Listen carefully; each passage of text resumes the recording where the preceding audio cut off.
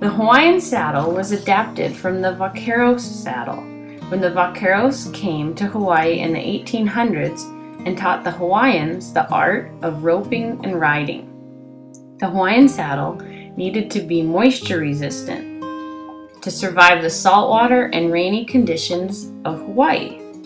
Held together with saddle strings, no glue is used. Repairs can easily be made by the Paniolo with just a few basic tools.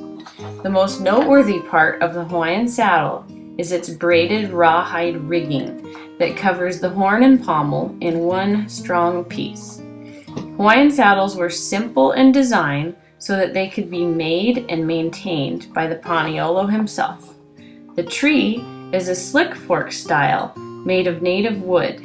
In the 1900s, many Hawaiian saddles were made on Hamley trees from Pendleton, Oregon, but most trees were handmade in Hawaii.